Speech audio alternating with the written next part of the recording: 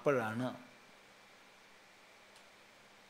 അവിടെ നെയ്യാറിന്റെ തീരത്ത് അതി വിശിഷ്ടമായൊരു സ്ഥാനം അവിടുന്ന് തിരഞ്ഞെടുത്ത് കുറച്ച് താമസിച്ചു. പ്രസിദ്ധമായ ശിവപ്രതിഷ്ഠ അവിടെയാണ് സംഭവിച്ചത്. ഈ സമയമാവുമ്പോഴത്തേക്ക് ആ യുവാവിന്റെ പ്രഭാവം അത്ഭുതകരമായ തേജസ്. ഏതൊരു സംശയത്തിനും അഗാധമായ അനുഭൂതി സമ്പന്നതയിൽ നിന്ന് വരുന്ന മറുപടി. സർവോപരി കഷ്ടപ്പെടുന്നവരിലും ദുഃഖിക്കുന്നവരിലുമൊക്കെയുള്ള ദീനാനുകമ്പ. ഇതെല്ലാം ഒത്തുചേർന്ന ഒരാർഷപ്രഭ അദ്ദേഹത്തിൽ ദർശിക്കാൻ പലർക്കും സാധിച്ചു. അക്കാലത്ത് ഇങ്ങനെ ദർശിച്ച പലരും സാധാരണ ക്ഷേത്രങ്ങളിൽ പോകാൻ അധികാരികളായിരുന്നില്ല. ക്ഷേത്രങ്ങളിൽ പോകുന്നത് പോയിട്ട് ക്ഷേത്രത്തിന്റെ മുന്നിലുള്ള നടവഴിയിൽ കൂടി പോലും സഞ്ചരിക്കാൻ അധികാരമില്ലാത്തവരായിരുന്നു. ഉപാസനയ്ക്ക് അധികാരമുണ്ടായിരുന്നില്ല. ക്ഷേത്രങ്ങൾക്കുള്ളിലേക്ക് പരമാവധി പോകാൻ കഴിയുന്നത് നാലമ്പലത്തിനുള്ളിലേക്ക് നായർ വരെയുള്ളവർക്കൊക്കെ പോവാം. അത്രയൊക്കെ വഹിച്ചിരുന്നുള്ളൂ. അതിന് താഴത്തേക്ക് പറയപ്പെട്ടവർക്കൊക്കെ ദൂരെ തന്നെ നോക്കി നിൽക്കണം. അങ്ങനെ നോക്കുന്നത് മേൽജാതിക്കാർ കണ്ടാൽ പിഴ അടയ്ക്കേണ്ടിയും വരും. ഇതായിരുന്നു സമൂഹത്തിന്റെ സ്ഥിതിവിശേഷം. ഇതെന്താ സമൂഹത്തിന്റെ സ്ഥിതിവിശേഷം എന്ന് പറഞ്ഞത്? ഉത്പതിഷ്ണുക്കളായ ഒരുപാട് മഹാപുരുഷന്മാർ ഉയർന്ന ജാതി എന്ന് പറയപ്പെടുന്നവയിൽ ഉണ്ടായിരുന്നു എന്ന് മനസ്സിലാക്കണം. ഒരു പ്രത്യേകം ശ്രദ്ധിക്കേണ്ട വിഷയമാണ്. അവശജനോദ്ധാരണത്തിന്റെ നേതൃസ്ഥാനീയനായ മഹാത്മാ അയ്യങ്കാളി രൂപപ്പെട്ടിട്ടുണ്ടെങ്കിൽ അതിന് പിന്നിൽ സദാനന്ദ ഭാരതി സ്വാമികളുണ്ടായിരുന്നു. അത് മറക്കരുത്. പലരും ഇത് ഓർമ്മിക്കില്ല കേട്ടോ. അഥവാ അങ്ങേയറ്റം അധസ്ഥിതരുടെ രക്ഷകനായി തീർന്ന ഒരു പണ്ഡിറ്റ് കറുപ്പൻ ഉണ്ടായിട്ടുണ്ടെങ്കിൽ അതിന് പിന്നിൽ കൊടുങ്ങല്ലൂർ കുഞ്ഞുകുട്ടൻ തമ്പുരാനുണ്ടായിരുന്നു മറക്കരുത്. അതുകൊണ്ട് തീർത്തും അന്ധകാരത്തിലൊന്നും ആയിരുന്നില്ല. പക്ഷെ സാമാന്യ സമൂഹം ഇവിധമായിരുന്നു. സാമാന്യ സമൂഹത്തിന്റെ മുമ്പിൽ പിടിച്ചു നിൽക്കാൻ സാമാന്യ ജനതയ്ക്ക് കഴിഞ്ഞിരുന്നില്ല ജാതീയമായ ഉച്ചനീചത്വ കൽപ്പനകളാൽ. ആ സമയത്താണ് അവിടുന്ന് ആദ്യമായിട്ട്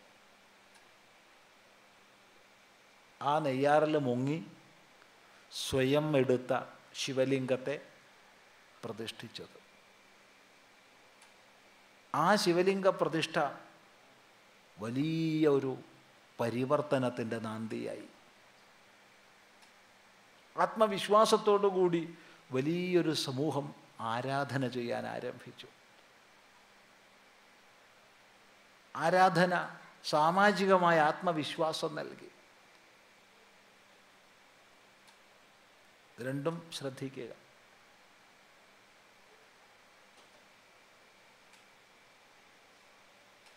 പ്രസിദ്ധി പതുക്കെ പതുക്കെ കൈവന്നു ചിലർ വളരെ ചുരുക്കം ചിലർ എതിർപ്പുകളുമായി മുന്നോട്ട് വന്നു. ഭൂരിഭാഗം സമൂഹവും ആദരവോടുകൂടി സമീപിച്ചു. അതെ.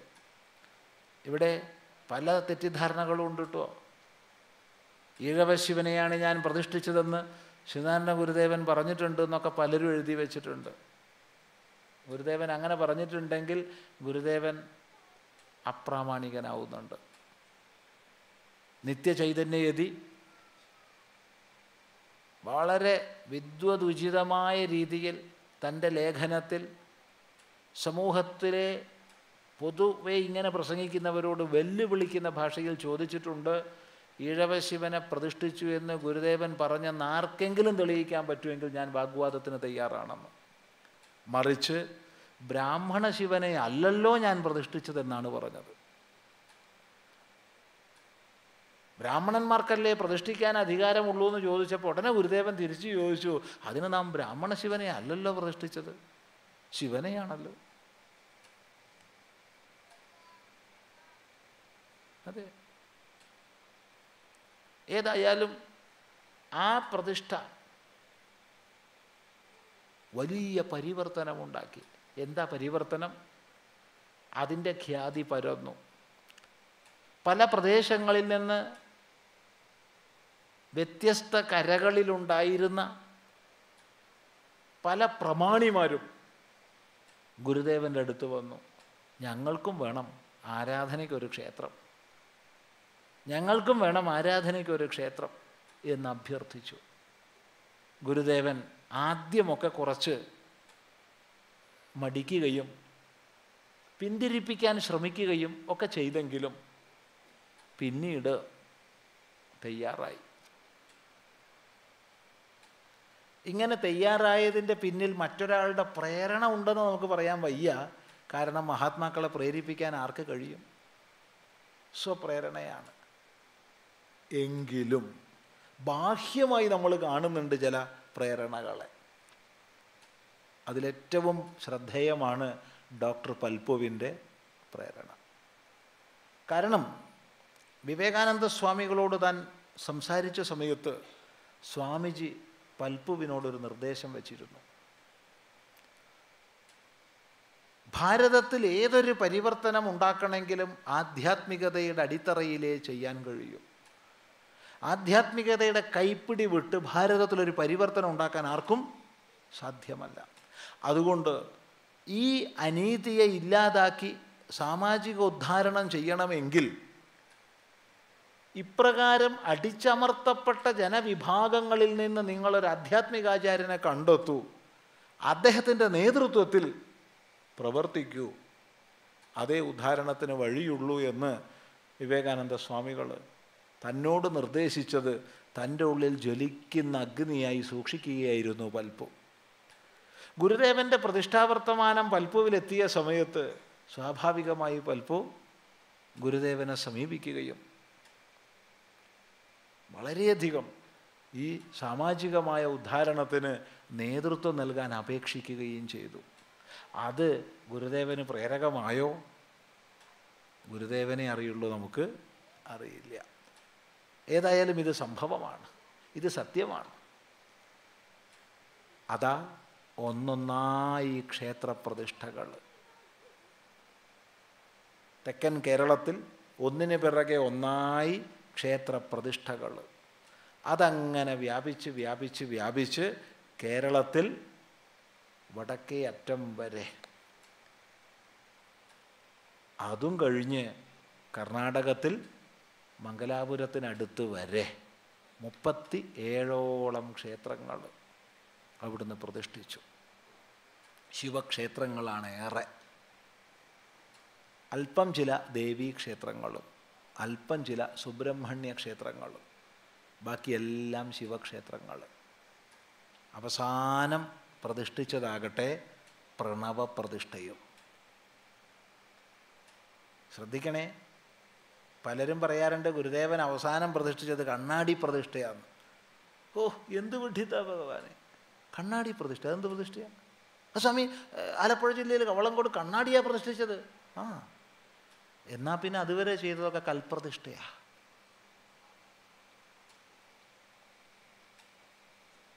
മനസ്സിലായില്ല? ഒന്നുകൂടി പറയാം. ഗുരുദേവൻ അവസാനം ചെയ്തത് കണ്ണാടി പ്രതിഷ്ഠയാണെന്ന് പറയുന്നവരോട് ഒന്നേ പറയാനുള്ളൂ. എങ്കിൽ അതുവരെ ചെയ്തതൊക്കെ കല്ല് പ്രതിഷ്ഠയാ. കാരണം ശിവലിംഗങ്ങളൊക്കെ കല്ലായിരുന്നു.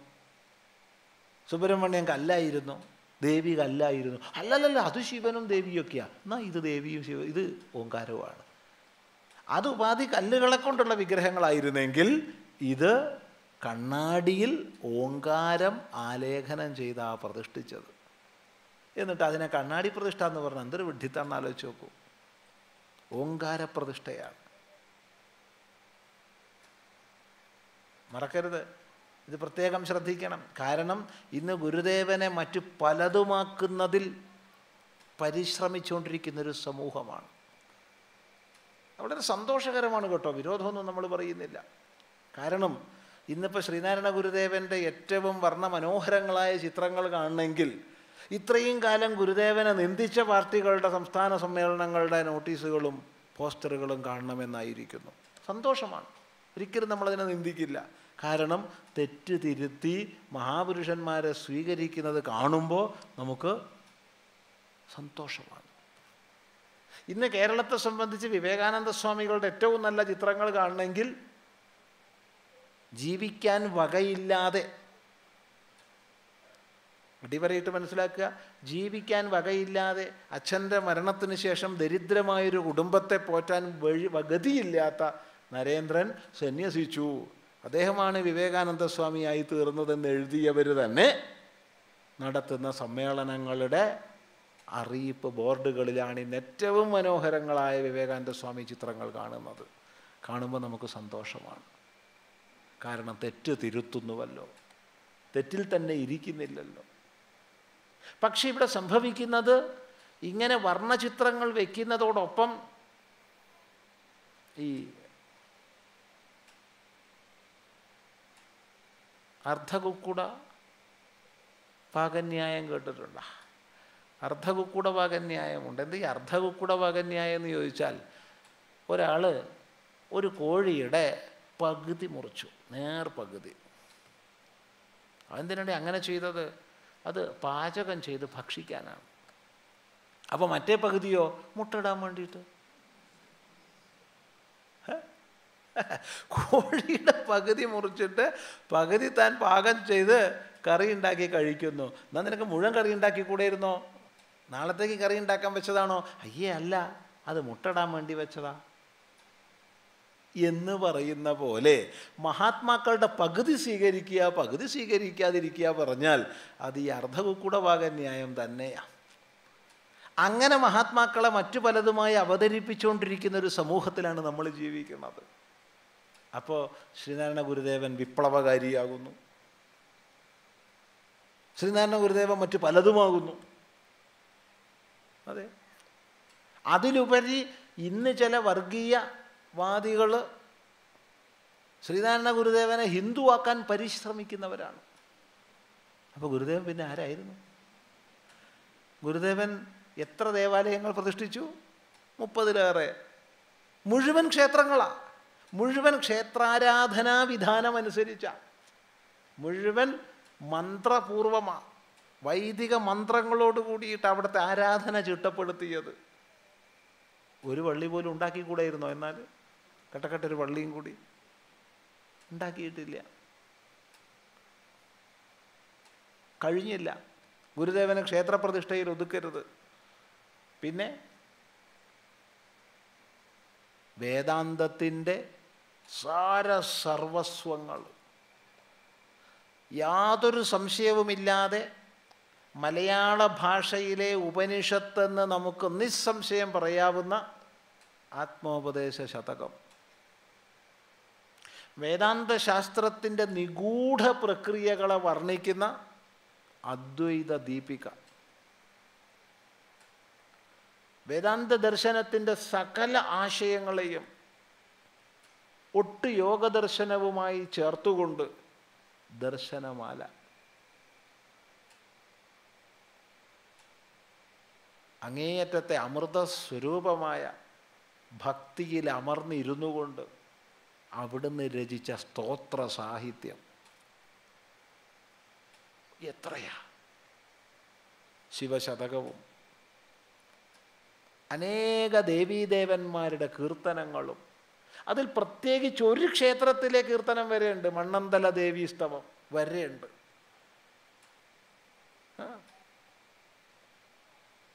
തന്ത്രശാസ്ത്രത്തിന്റെ നിഗൂഢതകളിലേക്ക് പോയാൽ മാത്രം അർത്ഥം മനസ്സിലാക്കാൻ കഴിയുന്ന ബാഹുലേയ അഷ്ടകം സാമാന്യമായിട്ട് വായിച്ചാലൊന്നും മനസ്സിലാവില്ല. തന്ത്രശാസ്ത്രത്തിന്റെ അതിനിഗൂഢ തലങ്ങളിലേക്ക് പോയാൽ മാത്രമേ ബാഹുലയാഷ്ടകം മനസ്സിലാവൂ.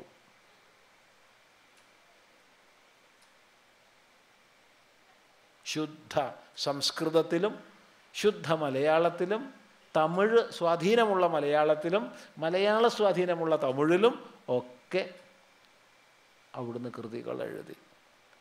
ഒരു ശ്ലോകത്തിൽ അടങ്ങുന്നത് വരെ എഴുതി. എന്താണ് ധർമ്മം? അതെ. സനാതന ധർമ്മശാസ്ത്രങ്ങളെ വൈദിക ശാസ്ത്രങ്ങളെ അവിടുന്ന് വിസ്തരിച്ചു. ആ കൃതികളിലൂടെയൊക്കെ ഒന്ന് പ്രവേശിക്കണേ. അല്പമെങ്കിലും. വേദാന്തത്തിന്റെ മുഴുവൻ ആറ്റിക്കുറുക്കി ലളിതമായി പറഞ്ഞു തന്നിരിക്കുക ദൈവദശകത്തിൽ ഹൃദ്യസുന്ദരമായിട്ട് എത്ര കൃതികൾ. ബ്രഹ്മവിദ്യ പഞ്ചകം. ശുദ്ധ സംസ്കൃതത്തിലുള്ളത്. ഇങ്ങനെ ആഴത്തിൽ പ്രക്രിയകളെ പഠിക്കേണ്ടവർക്ക് അതിനും വേദാന്തത്തെ പരിചയപ്പെടേണ്ടവർക്ക് അതിനും വേദാന്ത പഠനത്തിലേക്ക് നമുക്ക് കയറി പറ്റാനുള്ള സോപാനത്തിലെ പങ്ക്തികളായിട്ട് അനേക സ്തോത്ര സാഹിത്യവും ധർമ്മശാസ്ത്രവും ഒക്കെ അവിടുന്ന് തന്നു. ഈ കൂട്ടത്തിൽ എടുത്തു പറയേണ്ട ഒരു സംഭാവന ഗുരുദേവന്റെ ഏറ്റവും വലിയൊരു സംഭാവന എന്ന് നമ്മൾ മാനിക്കുന്നത് പറയട്ടെ. നോക്കൂ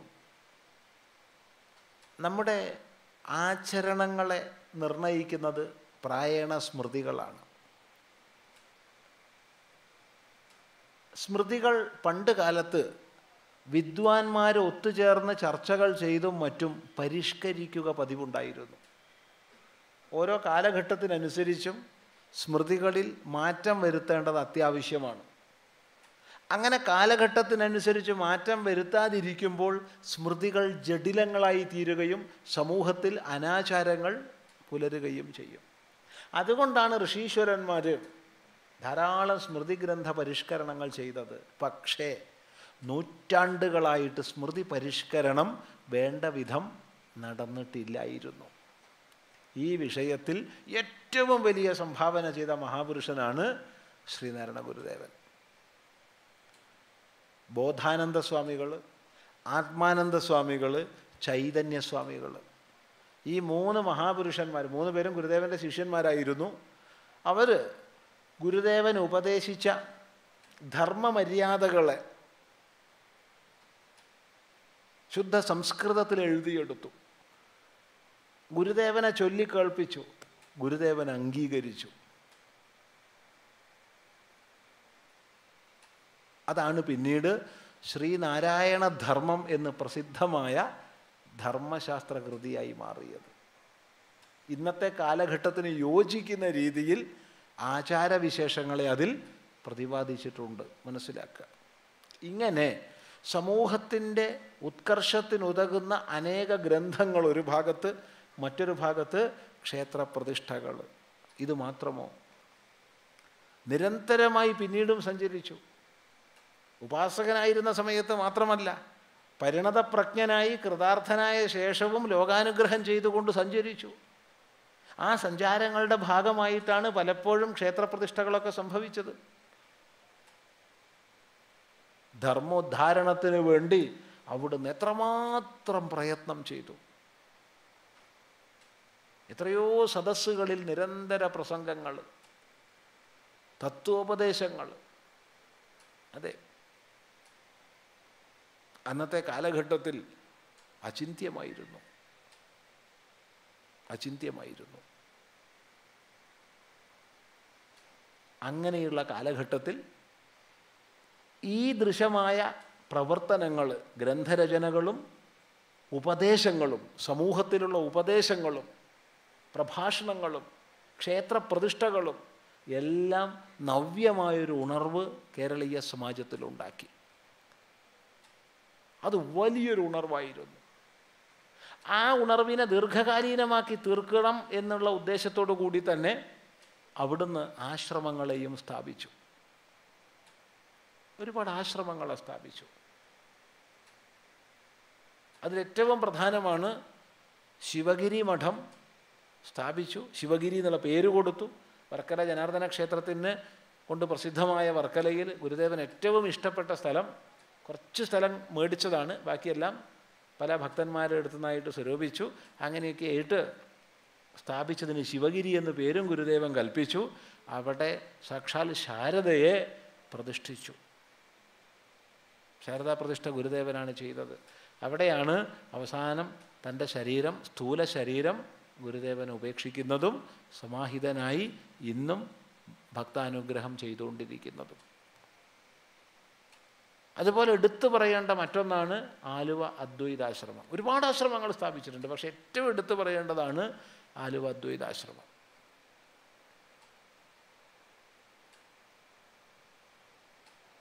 അതെ. ഇങ്ങനെ ആശ്രമ സ്ഥാപനങ്ങളിലൂടെ അവിടുന്ന് ശാസ്ത്ര പ്രചരണത്തിന് വേണ്ട സ്ഥിതിവിശേഷം ശക്തമായി ഉണ്ടാക്കി. ഇതെല്ലാം ഉണർത്തിവിട്ട വീര്യം.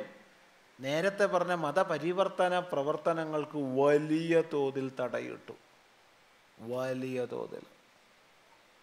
അതിഹീനമായ ജാതീയമായ ഉച്ചനീചത്വങ്ങളിൽ നിന്ന് രക്ഷപ്പെടണമെന്ന സങ്കല്പത്തോടു കൂടി മതാന്തരങ്ങളിലേക്ക് പോകാനൊരുങ്ങിയ വലിയ വിഭാഗം സമൂഹത്തെയും ഗുരുദേവൻ പിടിച്ചു നിർത്തി. മതം മാറ്റം ഒന്നിനും പരിഹാരമല്ല. വലിയ വിഭാഗം ഗുരുദേവന്റെ അനുയായികൾ തന്നെ ക്രിസ്ത്യനാവണം എന്നുള്ള സങ്കല്പത്തിലിരുന്നവരായിരുന്നു. ചിലർ പറഞ്ഞു അതിനേക്കാൾ നല്ലത് ബുദ്ധമതത്തിലേക്ക് പോകാം. ഇത് രണ്ടും ഗുരുദേവൻ തടഞ്ഞു. എന്ന് മാത്രമല്ല പ്രലോഭനങ്ങൾക്ക് വഴങ്ങി മതം മാറിപ്പോയ ചില കുടുംബങ്ങളെ ഗുരുദേവൻ പഞ്ചഗവ്യം സേവിപ്പിച്ച് തിരിച്ചു കൊണ്ടുവരികയും ചെയ്തിട്ടുണ്ട്. ഒന്നും മറക്കരുത്. ഇതൊക്കെ ഇന്ന് വളച്ചൊടിച്ചാണ് പലപ്പോഴും പ്രസംഗിക്കുന്നത് പലപ്പോഴും. പഞ്ചഗവ്യം സേവിപ്പിച്ച് അവരെ ധർമ്മത്തിലേക്ക് ഘർവാപ്പസി ആ തിരിച്ചു കൊണ്ടുപോകുന്നു അതാണ് ഗുരുദേവൻ. സംശയമൊന്നുമില്ല. ഇതൊക്കെ തെളിവുകൾ സഹിതം പറയാൻ പറ്റുമല്ല. അത് വെറുതെ പറയുന്നതല്ല ഇതൊന്നും.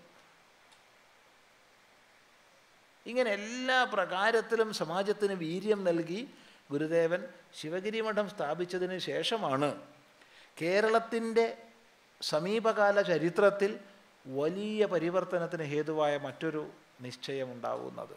അത് ചില സജ്ജനങ്ങൾ ഗുരുദേവനെ സമീപിച്ച് ചോദിച്ചു നമുക്കൊരു തീർത്ഥാടനമായാൽ എന്ത്? ഗുരുദേവൻ പറഞ്ഞു നല്ലത് തന്നെ. പക്ഷേ രണ്ട് വ്യവസ്ഥയുണ്ട്. ഒന്ന് ആർഭാടങ്ങൾ ഉണ്ടാവരുത്. അനാർഭാടമായിട്ടായിരിക്കണം. രണ്ട് നാമഞ്ജപത്തോട് കൂടിയായിരിക്കണം. തീർത്ഥാടനങ്ങളിലേറെ സംബന്ധിക്കാൻ ഗുരുദേവന് കഴിഞ്ഞില്ല. പക്ഷേ തീർത്ഥാടനത്തിനൊരു പൊതു സ്വഭാവം ഗുരുദേവൻ കൽപ്പിച്ചു. ആ പൊതു സ്വഭാവം നാമജപത്തിലും അനാർഭാടമായ യാത്രയിലും വ്രതചര്യയിലും വസ്ത്രവിധാനത്തിലും ഒക്കെ നിഴലിച്ചു. തീർത്ഥാടനത്തിന് പ്രത്യേക വസ്ത്രം വേണ്ടതെന്ന് ചോദിച്ചപ്പോൾ ഗുരുദേവൻ പറഞ്ഞു വേണം. കാഷായം സന്യാസിമാർക്കുള്ളതാണ്. വെള്ളയോ തനി ഗൃഹസ്ഥന്മാർക്കും. അതുകൊണ്ട് ഇതിന് രണ്ടിനും നടുക്കാവട്ടെ. അപ്പോൾ എന്നാൽ പിന്നെ മഞ്ഞയായാലും എന്താ ഗുരുദേവ? ഗുരുനാഥ എന്ന് ചോദിച്ചു ഭക്തന്മാർ അങ്ങനെയാവട്ടെ കൃഷ്ണനും മഞ്ഞയായിരുന്നല്ലോ ബുദ്ധനും മഞ്ഞയായിരുന്നു എന്ന് പറഞ്ഞു. ഇതാണ് ഉണ്ടായത്. അങ്ങനെ മഞ്ഞ വർണം തീർത്ഥാടനത്തിന് കൽപ്പിക്കപ്പെട്ടു. ഇതെങ്ങനെ കേരളത്തിന്റെ വർ സമീപകാല ചരിത്രത്തിൽ വലിയ പരിവർത്തനം ചെയ്തു എന്ന് ചോദിച്ചാൽ ഗുരുദേവന്റെ ഓരോ വാക്യങ്ങളെയായി പിന്നീട് തീർത്ഥാടനത്തിന്റെ മുഖ്യ വാക്യങ്ങളായിട്ട് പിൽക്കാലത്തുള്ള ആചാര്യന്മാർ സ്വീകരിച്ചു. അങ്ങനെയാണ് ഗുരുദേവൻ വ്യത്യസ്ത സന്ദർഭങ്ങളിൽ പുറപ്പെടുവിച്ച ഓരോ വാക്യങ്ങളുണ്ടല്ലോ. വിദ്യ കൊണ്ട് പ്രബുദ്ധരാകുക സംഘടന കൊണ്ട് ശക്തരാവുക. തുടങ്ങിയ ഒരുപാട് വാക്യങ്ങൾ പ്രചരിതങ്ങളായി. ശ്രദ്ധിക്കുക. ഇവിടെ വളരെ പ്രധാനപ്പെട്ട മറ്റൊരു വിഷയം പറയാതിരിക്കാൻ വയ്യ. ആ കാലഘട്ടത്തിൽ തെക്കൻ കേരളത്തിൽ ഏത് ക്ഷേത്രത്തിലൊരു ഉത്സവം നടക്കുകയാണെങ്കിലും ക്ഷേത്ര ഗോപുരത്തിന്റെ മുമ്പിൽ രണ്ട് പേര് വന്ന് ഗംഭീര പ്രസംഗം ചെയ്യുന്ന പതിവുണ്ടായിരുന്നു.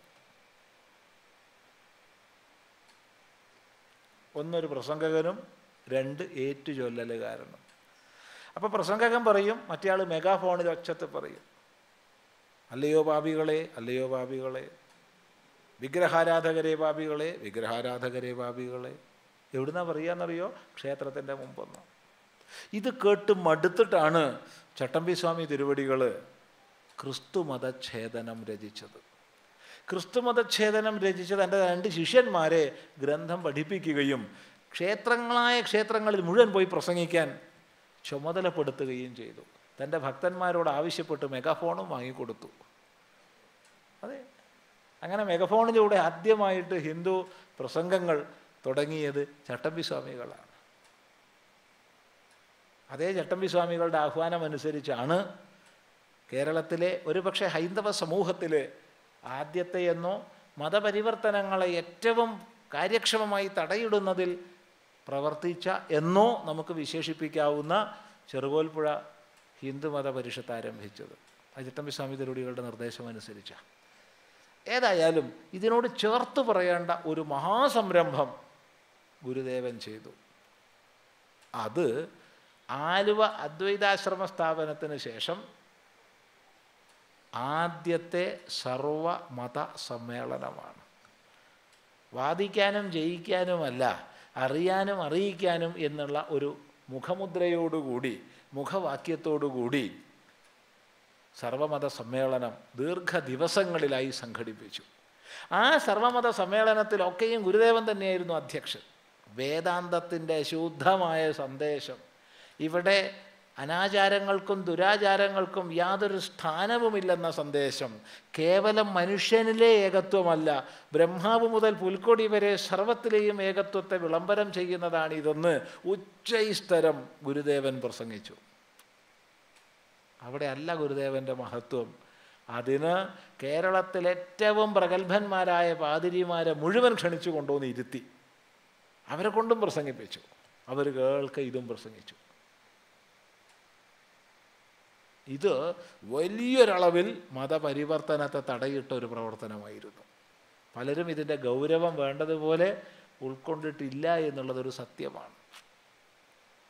ഏതായാലും ഇങ്ങനെയുള്ള വിവിധ പ്രവർത്തനങ്ങളിലൂടെ ഗുരുദേവൻ സാമാജികോദ്ധാരണം ചെയ്തു. ഇതൊക്കെ പറയുമ്പോൾ ഹിന്ദു സമൂഹത്തിൽ നടമാടിയിരുന്ന അനാചാരങ്ങൾക്കും ദുരാചാരങ്ങൾക്കും എതിരായി ഗുരുദേവൻ എത്ര പ്രവർത്തിച്ചു എന്ന് ചിന്തിക്കേണ്ടതാണ്? കണ്ട കല്ലിനെ മുഴുവൻ ദൈവമാക്കി. ജന്തുക്കളെ മുഴുവൻ കൊന്ന് ഹിംസ ചെയ്ത് രക്തദാനം ചെയ്യുന്ന ഒരു സമ്പ്രദായം നമ്മുടെ സമൂഹത്തിലുണ്ടായിരുന്നു. മാടനും മറുതയും ഒക്കെ പൂജിക്കപ്പെടുന്നൊരു സാഹചര്യം ശക്തമായി ഇതിനെതിരെ ഗുരുദേവൻ പ്രവർത്തിച്ചു. പല മൃഗങ്ങളെ കൊന്ന് ദൈവപൂജ ചെയ്യാനുള്ള പല കല്ലുകളെയും ഗുരുദേവൻ സ്വന്തം കൈകൊണ്ട് അടിച്ചു പൊട്ടിച്ചിട്ടുണ്ട് മറക്കരുത്. ഒരിക്കൽ ഇത് കണ്ട് ദേഷ്യപ്പെട്ടിട്ട് വെളിച്ചപ്പാട് വാളുമായി വന്നു. നമ്മുടെ ശക്തി അറിയാമോ നിനക്ക്? അറിയില്ലേ? അറിയില്ല അല്ലേ അല്ല അറിയാമായിരുന്നു കാണിച്ചു തന്നാൽ. നിനക്കെന്ത് കാണണം? അവിടുത്തെ വായയിൽ ഒരു പല്ലും ഇല്ലല്ലോ. ഒന്ന് മുളപ്പിച്ചാൽ മനസ്സിലാക്കാമായിരുന്നു. വെളിച്ചപ്പാടിനുണ്ടോ? ഇനി പല്ല് മുളയ്ക്കാൻ പോണു. വയസ്സായിട്ട് പല്ല് കൊഴിഞ്ഞു പോയതാ. ഇത് ഒരു സംഭവമല്ല. ഒറ്റപ്പെട്ട സംഭവമല്ല. ഹിന്ദു സമൂഹത്തിൽ നടമാടിയിരുന്ന അനാചാരങ്ങളെ ദുരാചാരങ്ങളെ നിശിതമായി തന്നെ ഗുരുദേവൻ തുറന്നു കാണിച്ചു. പക്ഷേ അതിനൊക്കെ ശാസ്ത്രത്തിന്റെ വേദാന്ത ശാസ്ത്രത്തിന്റെ ശുദ്ധമായ അടിത്തറയും സ്വന്തം ഉപാസനയിലൂടെ സാക്ഷാത്കരിച്ച സത്യബോധത്തിന്റെയും അടിത്തറയുണ്ടായിരുന്നു. അതുകൊണ്ട് സമൂഹം അതിനെ ആദരിച്ച് സ്വീകരിച്ചു. സമൂഹം ആദരിച്ച് സ്വീകരിച്ചത് കൊണ്ടാണ് നമ്മൾ ഇന്ന് ഗുരുദേവനെക്കുറിച്ച് ചർച്ച ചെയ്യാൻ ഇവിടെ ഇരിക്കുന്നത്. ശ്രദ്ധിക്കുക. അങ്ങനെ ഗുരുദേവന്റെ പ്രതിഷ്ഠകളും ഗ്രന്ഥങ്ങളുമൊക്കെ വലിയ സാമൂഹ്യ പരിഷ് പരിവർത്തനത്തിന് ഹേതുവായിരുന്നപ്പോൾ ചില പ്രമാണിമാർ ഞങ്ങളുടെ സ്ഥലത്തും ക്ഷേത്രം വേണമെന്ന് പറഞ്ഞുകൊണ്ട് സമീപിച്ചപ്പോൾ ഗുരുദേവൻ പറഞ്ഞു ഇനി ഇത്രയൊക്കെ മതി. ഇനി വേണ്ട ക്ഷേത്രം സരസ്വതി ക്ഷേത്രമാണ്. നമ്മുടെ സമൂഹത്തിന് എല്ലാ പ്രകാരത്തിലും പെട്ട വിദ്യാഭ്യാസം ഉണ്ടാവണം. പ്രത്യേകിച്ച് പെൺകിടാങ്ങൾക്ക്. കാരണം പെൺകുട്ടികളിലെ വിദ്യാഭ്യാസം മാത്രമേ സമൂഹത്തെ മുന്നോട്ട് നയിക്കൂ. അതുകൊണ്ട് ആൺകുട്ടികൾക്കും പെൺകുട്ടികൾക്കും ഒക്കെ ഏറ്റവും ആധുനികമായിരിക്കുന്ന വിവരങ്ങളും ഇംഗ്ലീഷും സംസ്കൃതവും പഠിക്കാനുള്ള വിദ്യാലയങ്ങൾ വേണം. ഈ ഗുരുദേവന്റെ ആഹ്വാനം സമൂഹം സ്വീകരിച്ചു. അത് പ്രവർത്തിപ്പിക്കുന്നതിന് ഗുരുദേവൻ ശ്രീനാരായണ ധർമ്മ സംഘത്തെ ചുമതലപ്പെടുത്തി. തന്റെ സന്യാസി ശിഷ്യന്മാർ ആ സമയമാകുമ്പോഴത്തേക്ക് കുറേ സന്യാസി ശിഷ്യന്മാരുണ്ടായിരുന്നു. ഇതിൽ ശ്രീനാരായണ ഗുരുദേവനെ ഈഴവസ്വാമിയാക്കുകയും ചട്ടമ്പി സ്വാമിയെ നായർ സ്വാമിയാക്കുകയും ചെയ്യുന്നവരോട് നമുക്കൊന്നേ പറയാനുള്ളൂ. ഗുരുദേവന്റെ ആദ്യകാല ശിഷ്യന്മാരിൽ എവരുടെ ഭാഷയിൽ നമ്പൂതിരി ഉണ്ടായിരുന്നു? ശ്രീനാരായണ ഗുരുദേവന്റെ ആദ്യകാല ശിഷ്യന്മാരിൽ എവരുടെ ഭാഷയിൽ നായരുണ്ടായിരുന്നു? എവരുടെ ഭാഷയിൽ പരദേശി ബ്രാഹ്മണനും ഉണ്ടായിരുന്നു? മറക്കരുത്. എവരുടെ ഭാഷയിൽ തൊട്ടുകൂടാത്ത ചെറുമനും ഉണ്ടായിരുന്നു? സത്യവ്രതസ്വാമി അല്ലേ? നമ്മുടെ ഏറ്റവും വലിയ ബ്രഹ്മ ബ്രാഹ്മണശ്രേഷ്ഠൻ എന്ന് ഗുരുദേവൻ ചോദിക്കുമായിരുന്നു. സത്യവ്രതസ്വാമിയല്ലേ നമ്മുടെ ആശ്രമത്തിലെ ഏറ്റവും വലിയ ബ്രാഹ്മണശ്രേഷ്ഠൻ? അത്ര ആചാരശുദ്ധിയായിരുന്നു സത്യവ്രതസ്വാമിക്ക്. ബാക്കിയുള്ളവരൊക്കെ കുറച്ച് നീക്കുപോക്കിനൊക്കെ തയ്യാറായാലും സത്യവ്രതസ്വാമി നീക്കുപോക്കിന് തയ്യാറല്ലായിരുന്നു. അപ്പം അർത്ഥം മനസ്സിലായി എന്ന് വിചാരിക്കുക. അത് വലിയൊരു പരിവർത്തനമായി. ഇങ്ങനെ എല്ലാ പ്രകാരത്തിലും സമാജത്തിന് വേണ്ട പ്രകാശം നൽകി ഉപാസനയെ ജ്ഞാനത്തെ കർമ്മയോഗത്തെ എല്ലാം സമൂഹത്തിന്റെ മുമ്പാകെ അവതരിപ്പിച്ച് അനാചാരത്താൽ ദുഷ്ടമായൊരു സമൂഹത്തെ ഉയർത്താൻ അവിടുന്ന് എത്രമാത്രം പരിശ്രമിച്ചു എന്ന് ഒന്നോ നൂറോ പ്രസംഗം കൊണ്ട് പറയാൻ സാധ്യമല്ല. പക്ഷെ അവിടുത്തെ പ്രവർത്തന ശൈലിക്ക് ഒരു ഉദാഹരണം പറയട്ടെ. വടക്കൻ കേരളത്തിൽ അവിടുന്ന് പ്രതിഷ്ഠിച്ച പ്രധാന ക്ഷേത്രങ്ങളിൽ മൂന്നെണ്ണം എടുത്തു പറയേണ്ടത് ഒന്ന് കോഴിക്കോട് ശ്രീകണ്ഠേശ്വരവും രണ്ട് തലശ്ശേരിയിൽ ജഗന്നാഥവും മൂന്ന് അവിടുന്ന് കയ്യാല പ്രതിഷ്ഠിച്ചതല്ലെങ്കിലും അവിടുത്തെ ശിഷ്യനായ ചൈതന്യസ്വാമി പ്രതിഷ്ഠിച്ച കണ്ണൂരിലെ സുന്ദരേശ്വരവുമാണ്. ഇതിൽ തലശ്ശേരി ജഗന്നാഥം പ്രതിഷ്ഠിച്ചു. ജഗന്നാഥം പ്രതിഷ്ഠിച്ച് പിറ്റത്തെ വർഷം ഗുരുദേവൻ അവിടുത്തെ വാർഷികത്തിന് പോവുകയാണ്. കുറേ പേര് കൂനി കൂടി പുറമെ ഇരിക്കുന്നുണ്ട്. ഗുരുദേവൻ ചോദിച്ചു ഇതെന്ത് നിങ്ങൾ ഇവിടെ ഇരിക്കുന്നത്? ഞങ്ങൾക്ക് അകത്തേക്ക് കയറാൻ മേലേ. ഏ കാരണം ഞങ്ങൾ കീഴ്ജാതിക്കാരാ. എന്ത്? നാം പ്രതിഷ്ഠിച്ച ക്ഷേത്രത്തിൽ നിങ്ങൾക്ക് കയറാൻ പറ്റില്ലേ? ഇല്ല ഞങ്ങൾക്ക് അനുവാദമില്ല. ചിന്തിക്കണേ ഇത് പറഞ്ഞു വന്നത് കേരളത്തിൽ അന്നുണ്ടായിരുന്ന സാമൂഹ്യ സ്ഥിതിയെ മനസ്സിലാക്കിക്കാനാണ് ഓരോ വിഭാഗവും അടിച്ചമർത്തപ്പെട്ടു എന്ന് മുകളിലുള്ളവരെ കുറ്റം പറയും. എന്നൂടി പറയാം. ഓരോ വിഭാഗവും അടിച്ചമർത്തപ്പെട്ടു എന്ന് മുകളിലുള്ളവരെ കുറ്റം പറയും. പക്ഷെ തങ്ങളുടെ താഴത്തുള്ളവരെ തങ്ങളുടെ താഴത്തുള്ളവരെ തങ്ങൾ അടിച്ചമർത്തിക്കൊണ്ടിരുന്നു. അത് പലപ്പോഴും നമ്മൾ പ്രസംഗങ്ങളിൽ പറയില്ല. പ്രനാശയം വ്യക്താണെന്ന് വിചാരിക്കുന്നു. ഏതായാലും ഗുരുദേവന്റെ കൃപ ക്ഷേത്ര പ്രവർത്തകരെ വിളിച്ചു. ഇതെന്തിത്? അവർ അവർ തൊടാൻ വയ്യാത്തവരാണേ. അങ്ങേയറ്റം കീഴ്ജാതിക്കാരാണേ. ചെറുമരും പറയരും അതിന് താഴത്തുള്ളവരുവാ അതുകൊണ്ട് നാം പ്രതിഷ്ഠിച്ച ക്ഷേത്രത്തിൽ അവർക്ക് കയറാൻ വയ്യേ. സമയം തരണമേ. എത്ര സമയം വേണം? ഒരു വർഷം വേണം. ഗുരുദേവൻ അന്ന് വാസ്തവത്തിൽ ക്ഷേത്രപ്രതിഷ്ഠയുടെ വാർഷികമായതുകൊണ്ട് അകത്തു പോകേണ്ട ആളാണ്. അകത്ത് പോയില്ല. പുറത്തവിടെ ചാമ്രം പടിഞ്ഞിരുന്നു. പത്ത് മിനിറ്റ് കഴിഞ്ഞപ്പോൾ മഴ പെയ്തു. ഗുരുദേവൻ ചോദിച്ചു ഒരു വർഷം കഴിഞ്ഞില്ലേ? എനിക്കേറ്റരുതോ? ഇതൊന്നും കഥയല്ല. ഇത് ചൂണ്ടിക്കാണിക്കുന്നത് കേരളത്തിലെ അന്നത്തെ പശ്ചാത്തലത്തെ മനസ്സിലാക്കാനാണ്. ഉയർന്നവൻ താണവൻ അതിനേക്കാൾ താണവനെന്ന് പല തട്ടുകളാക്കി ഓരോരുത്തരും മറ്റൊരാളാൽ ചൂഷണം ചെയ്യപ്പെട്ടപ്പോൾ തന്റെ അടിയാളനെ ചൂഷണം ചെയ്തു. ഈ വ്യവസ്ഥയെ സമൂലമില്ലാതാക്കാൻ പരിശ്രമിച്ച മഹാപുരുഷന്മാർ വേദാധികാര നിരൂപണത്തിലൂടെ ചട്ടമ്പിസ്വാമികൾ അതെ അനേക കൃതികളിലൂടെ ശ്രീനാരായണ ഗുരുദേവൻ കൃതി പറഞ്ഞ എഴുത്ത് മാത്രമല്ല ഈ ചെയ്തതെല്ലാം.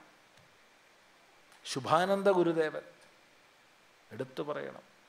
ശ്രീരാമകൃഷ്ണദേവന്റെ നേരിട്ടുള്ള ശിഷ്യനായ നിർമ്മലാനന്ദ സ്വാമികൾ കേരളത്തെ അതിഹീനമായ ജാതീയതയിൽ നിന്ന് രക്ഷിക്കാൻ ഏറ്റവും പരിശ്രമിച്ച മഹാപുരുഷനാണ് നിർമ്മലാനന്ദ സ്വാമികൾ.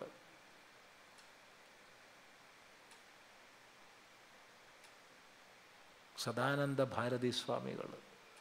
എത്ര എത്ര എത്ര മഹാപുരുഷന്മാർ. അവരുടെയൊക്കെ സ്മൃതികൾക്ക് മുമ്പിൽ നമസ്കരിച്ചുകൊണ്ട് ഒരാചാര്യനെയും മുകളിലോ താഴെയോ കാണാതെ ബ്രഹ്മനിഷ്ഠന്മാരിൽ ഭേദമില്ലെന്നറിഞ്ഞ് എന്നിട്ട് പറയാം. ബ്രഹ്മനിഷ്ഠന്മാരിൽ ഭേദമില്ലെന്നറിഞ്ഞ് ആദരിക്കാൻ ശീലിക്കുക. ഇത് പറയാൻ കാരണം ശ്രീനാരായണ ഗുരുദേവനെക്കുറിച്ച് പ്രശംസിച്ച് പ്രസംഗിക്കുന്ന പലർക്കും ഉറക്കം വരണമെങ്കിൽ ശങ്കരാചാര്യരെ ഒന്ന് നിന്ദിക്കേണ്ടി വരും. വലിയ കഷ്ടമാണ്. ഗുരുദേവൻ പറഞ്ഞു ദാർശനികമായി ശ്രീശങ്കരൻ പറഞ്ഞതേ നമുക്കും പറയാനുള്ളൂ. പിന്നെ നമ്മൾ അധികം പറയുന്നതൊക്കെ ഇന്നത്തെ സാമൂഹ്യ വ്യവസ്ഥയുടെ ഉദ്ധാരണത്തിന് വേണ്ടിയിട്ടാണെന്ന് അർത്ഥം അത് ഗുരുദേവൻ പറഞ്ഞിട്ടില്ല നമ്മൾ മനസ്സിലാക്കിക്കൊള്ളണം. ദാർശനികമായി ശ്രീശങ്കരൻ പറഞ്ഞതേ നമുക്കും പറയാനുള്ളൂ എന്ന് പറഞ്ഞാൽ ഗുരുദേവൻ ചെയ്ത മറ്റതൊക്കെ സാമാജികമായിട്ടാണ്. ഒരു വ്യത്യാസവും മഹാത്മാക്കൾക്കിടയ്ക്കില്ല. കാരണം ബ്രഹ്മവേദ ബ്രഹ്മൈവ ഭവതി.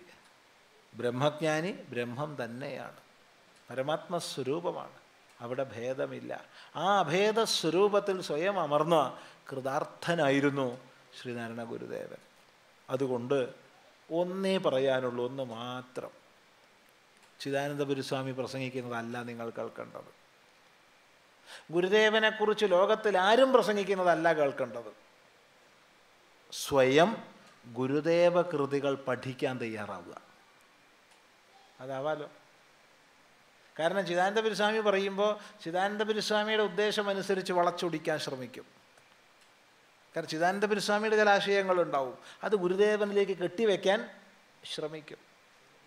പാർട്ടി ഓഫീസിൽ ഗുരുദേവന്റെ പ്രതിമ കൊണ്ട് വയ്ക്കുന്നവരും കത്തിക്കുന്നവരും അത് തന്നെ ചെയ്യും.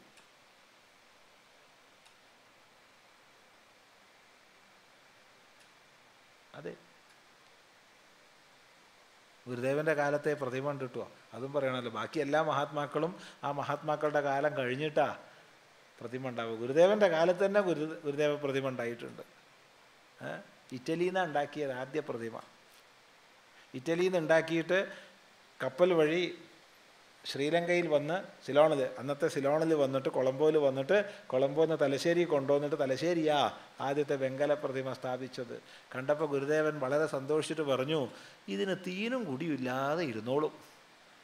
അത് വലിയൊരു ഗുണം തന്നെ. ഇത് ഇതിന് ഭക്ഷണവും കൊടുക്കണ്ട വെള്ളവും കൊടുക്കണ്ട സുഖമായിട്ട് ഇരുന്നോളൂ. നോക്കണേ അവിടെ പോലെ സരസഭാവം. എവിടുന്ന സരസത വരുന്നേ? എവിടുന്ന സരസത വരുന്നേ? അത് ചിന്തിച്ച് നോക്കുക. അപ്പോഴാണ് നമുക്ക് ഒരു മഹാപുരുഷന്റെ യഥാർത്ഥമായ ഭാവം നമുക്ക് സ്ഥൂലമായി കാണുന്നതിനും അപ്പുറത്താണെന്ന യാഥാർത്ഥ്യം മനസ്സിലാക്കുക. അതുകൊണ്ട് ഒന്നേ പറയാനുള്ളൂ ഗുരുദേവ കൃതികളെ സ്വയം പഠിക്കാൻ ഈ ഇരിക്കുന്ന ഓരോരുത്തരും തയ്യാറാവുക. അപ്പോഴേ ചിദാനന്ദപുരി സ്വാമിയുടെ ദുർവ്യാഖ്യാനം നിങ്ങൾക്ക് മനസ്സിലാവും. വേറെ ആരുടെയെങ്കിലും ദുർവ്യാഖ്യാനം മനസ്സിലാവും. അതുകൊണ്ട് വേറൊരു ടോർച്ച് വേണ്ട സൂര്യനെ പ്രകാശിപ്പിക്കാൻ. ആ സൂര്യപ്രഭയെ സ്വയം അനുഭവിക്കാൻ ആസ്വദിക്കാൻ ഗുരുദേവ കൃതികൾ പഠിക്കുക എന്ന് മാത്രം പറഞ്ഞ് എന്തെങ്കിലും സംശയങ്ങൾ ചോദിക്കാനുണ്ടെങ്കിൽ ചോദിച്ചാൽ അറിയുന്നതാണെങ്കിൽ പറയും. ഒരു സംശയം ഇല്ലാച്ചാൽ സുഖം. ഇതിലുണ്ടെങ്കിൽ ചോദിക്കാം അറിയുന്നതാണെങ്കിൽ പറയുക.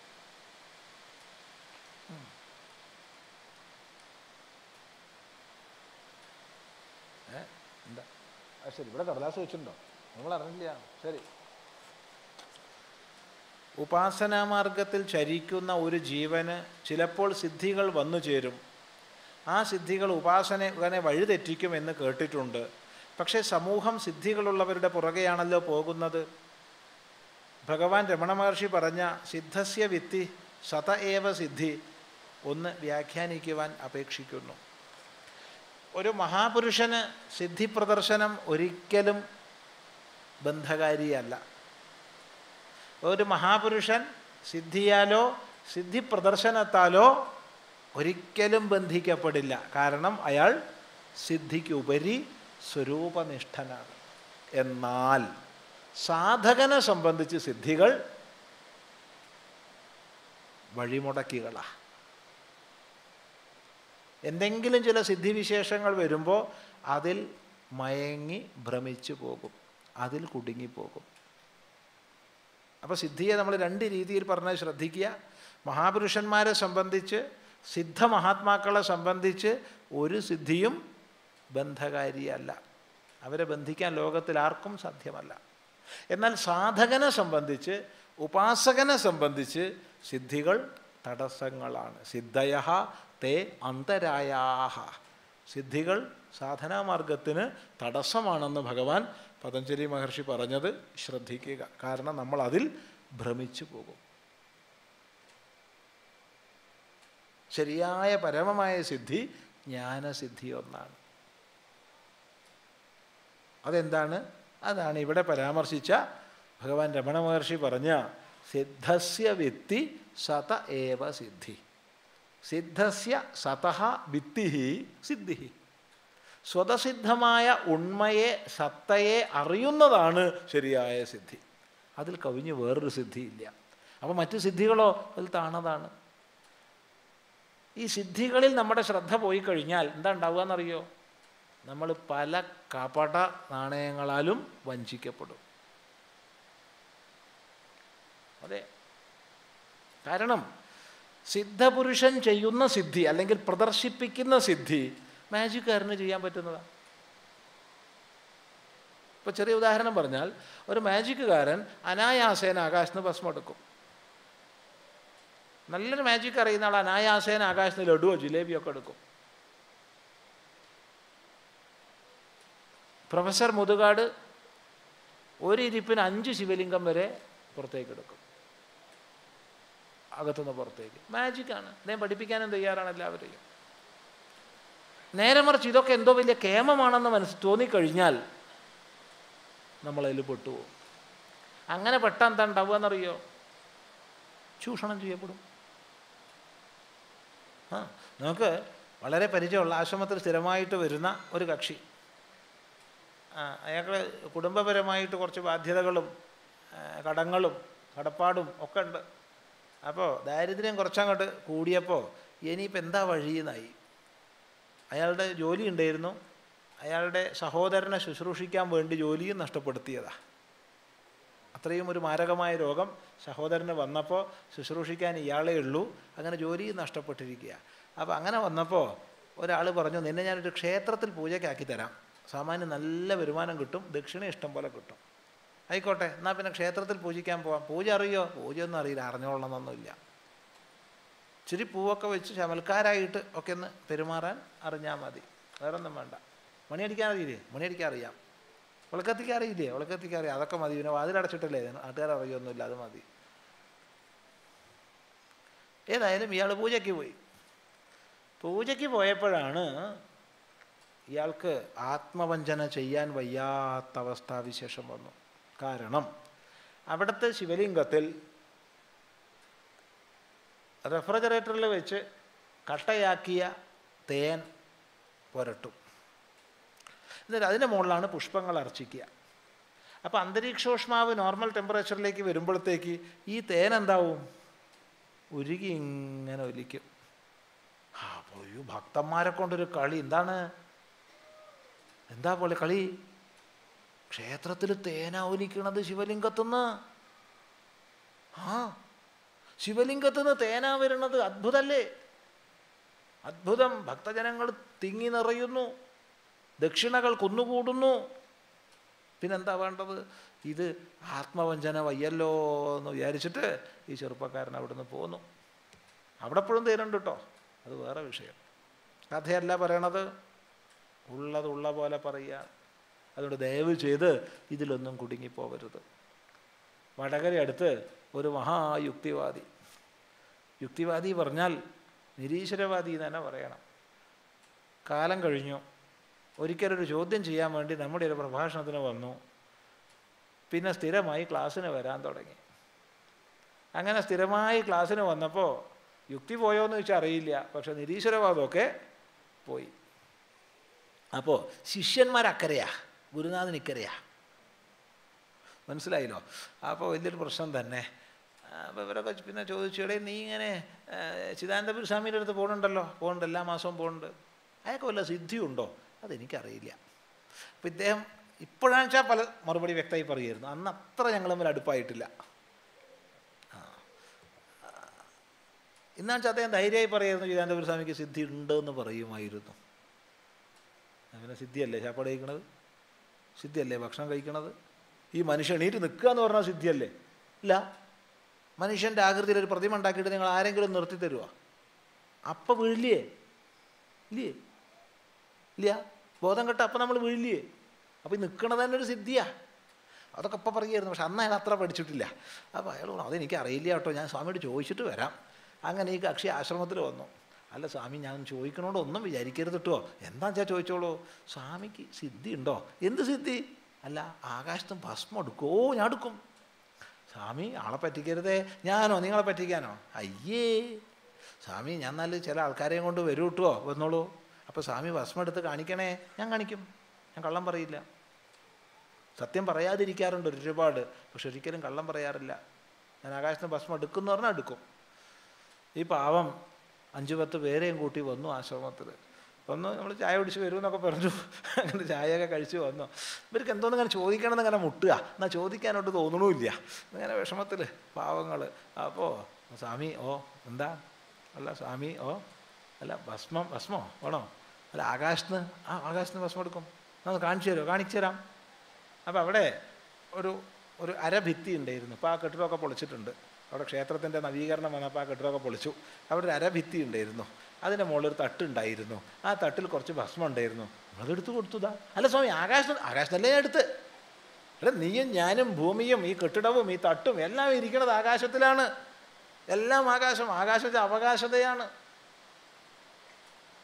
ആകാശം എന്ന് പറഞ്ഞാൽ എന്താ? അവകാശതയാണ് ആകാശം. ആകാശത്തായ ഞാൻ ഭസ്മം എടുത്തത്. ഇതല്ല ഞങ്ങൾ ചോദിച്ചത്. നിങ്ങൾ ചോദിച്ചത് എനിക്ക് ചെയ്യാൻ പറ്റുക എനിക്ക് ചെയ്യാൻ പറ്റുന്നല്ല എനിക്ക് ചെയ്യാൻ പറ്റൂ. ഇത് പറയാൻ കാരണം എന്താ ചോദിച്ചാൽ ഇങ്ങനെയുള്ള പലതിൽ പെട്ടുപോകും നമ്മൾ. ഒരു മഹാ ക്രിമിനൽ ഒരാൾ ഈ പാർട്ടിയുടെ ആവശ്യത്തിന് വേണ്ടിയിട്ട് കൊലപാതകം ചെയ്യാൻ പോകുന്ന ഗ്രൂപ്പിൽ പ്രവർത്തിച്ചുകൊണ്ടിരിക്കുന്ന ഇരുന്ന ആളാണ് പക്ഷെ ഇയാൾക്ക് മൂന്ന് കഴിവുണ്ട്. ഒന്ന് യോഗ ആസനങ്ങൾ നല്ലപോലെ അറിയാം.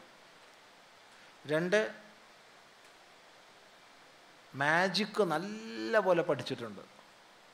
മൂന്ന് കരാട്ടെ അതിന്റെ ടോപ്പ് ബെൽറ്റ് വരെ ഉണ്ട്.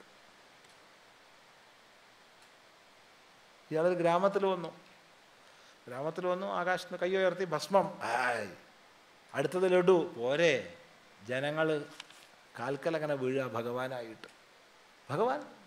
ഇത് ഭഗവാൻ അല്ലാണ്ട് സാധിക്കുമോ നോക്കണേ പോണത് ഡോക്ടർമാർ എൻജിനീയർമാർ ഇവരൊക്കെ എന്താ പഠിച്ചത് നമുക്ക് ആലോചിച്ചിട്ട് മനസ്സിലാവില്ല? സിദ്ധനമാ ഭഗവാനാണ് അല്ലെങ്കിൽ ഭസ്മം എടുക്കുക ആകാശത്ത് അല്ലെങ്കിൽ ലഡു കൊടുക്കുക ആകാശത്തുനിന്നാണ് ചോദിക്കണത്? ഏത് മാജിക്കാരനും ചെയ്യാൻ പറ്റുന്നതാണത് അല്പം പഠിച്ചാൽ മതി അധികമൊന്നും പഠിക്കണ്ട. അതുകൊണ്ട് ദയവ് ചെയ്ത് ചമൽക്കാരങ്ങളിൽ വീണു പോകാതിരിക്കുക. സിദ്ധ മഹാത്മാക്കൾ വിജ്ഞാനികൾ ലോകനന്മയ്ക്ക് പലതും കാണിച്ചെന്ന് വരും. മൂഢന്മാരെ ആകർഷിക്കാൻ ചിലപ്പോൾ ചിലതൊക്കെ കാണിക്കേണ്ടി വരും. അത് അവർക്ക് ബാധയല്ല. പക്ഷെ ഉപാസകന്മാർക്ക് അത് ബാധയാണ്. അത് ശരിക്കും മനസ്സിലാക്കുക. ശ്രവണ മനന നിധിധ്യാസങ്ങളാണല്ലോ ഒരു ഉപാസകനെ സത്യസാക്ഷാത്കാരത്തിലേക്ക് നയിക്കുന്നത്. നോക്കൂ ശ്രവണ മനന നിധിധ്യാസം തന്നെയാണ്. സംശയമില്ല. പക്ഷേ ശ്രവണം ചെയ്യാനുള്ള യോഗ്യത വേണ്ടേ? എല്ലാവർക്കും ഇപ്പോൾ ശ്രവണത്തിനുള്ള യോഗ്യത ഉണ്ടാവുമോ ഉണ്ടാവുമോ ഉണ്ടാവില്ല. ശ്രവിക്കാനുള്ള യോഗ്യത അനേക ലക്ഷം പേരിൽ ഒരാൾക്കേ ഉണ്ടാവുള്ളൂ. ശ്രവണായാപി ബഹുഭിർയോന ലഭ്യ ശ്രവിക്കാൻ പോലും ബഹുഭൂരിപക്ഷം പേർക്കും ലഭിക്കണില്ല എന്നാ. ഇപ്പം ശ്രവിക്കാൻ എന്ത് വേണം? ഏകാഗ്രത വേണം. സമാഹിതത്വം വേണം. ശ്രദ്ധ വേണം. വിവേകം വേണം. വൈരാഗ്യം വേണം. ശമം ദമം ഉപരതി തിദീക്ഷ ശ്രദ്ധ സമാധാനം മുമുക്ഷുത്വം ഒക്കെ വേണം. ഇതൊക്കെ വേണ്ടേ? വേണം. എങ്കിൽ അതിന് പ്രാഥമിക സാധനങ്ങൾ വേണം. അപ്പോൾ എല്ലാ ഉപാസകന്മാർക്കും ശ്രവണമനനം മാത്രം പോരാ. ക്ഷേത്രോപാസന വേണം. പ്രാണായാമം വേണം. നാമജപം വേണം. മന്ത്രജപം വേണം പൂജകൾ വേണം അർച്ചനകൾ വേണം എല്ലാം വേണം. അത് ഓരോ വ്യക്തിയെയും അവൻ ഇരിക്കുന്ന തലത്തിൽ നിന്ന് ഒരടി മുന്നോട്ട് നയിക്കാൻ എന്താണോ വേണ്ടത് അതൊക്കെ വേണം. അതൊക്കെ ഉപാസന തന്നെയാണ് കേവലം ശ്രവണ മനന നിധിധ്യാസം മാത്രമല്ല ഉപാസന. എന്നാൽ ശ്രവിക്കാൻ യോഗ്യത കൈവന്ന ഒരാൾക്ക് ശ്രവണ മനന നിധിധ്യാസം തന്നെയാണ് സാധന. എന്താണ് മനനം? പ്രായോഗികമായി മനനത്തെ ലളിതമായ ഒരു ഉദാഹരണ സഹിതം വിശദീകരിക്കാമോ? മനനം എന്ന് പറഞ്ഞാൽ ഗുരുവിൽ നിന്ന് തത്വശ്രവണം ചെയ്ത ശേഷം വിവിധ യുക്തികളെ ഉപയോഗിച്ച് വിചാരം ചെയ്യുന്നതാണ് മനനം. വിവിധ യുക്തികളെ ഉപയോഗിച്ച് വിചാരം ചെയ്യുന്നതാണ് മനനം. എപ്പോൾ? ശ്രവണ അനന്തരം.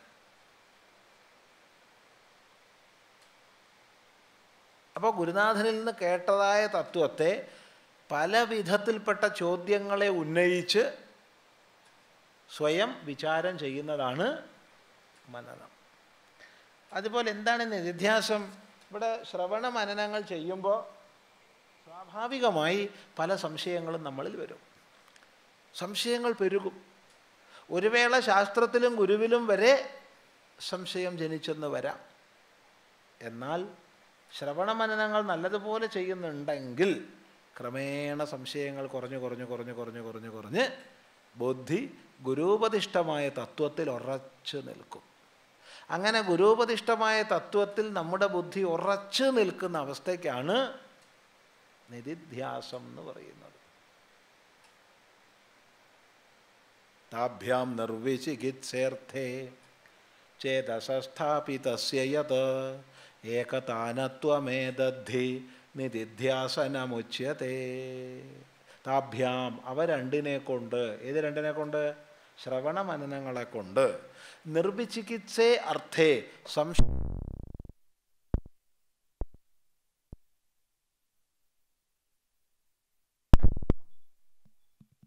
സംശയരഹിതമായ അർത്ഥത്തിൽ സ്ഥാപിച്ച ബുദ്ധിയുടെ ഏകതാനത്വം ഒരൊറ്റ ആശ്രയത്തിലുള്ള ഉറച്ചിരിപ്പ്.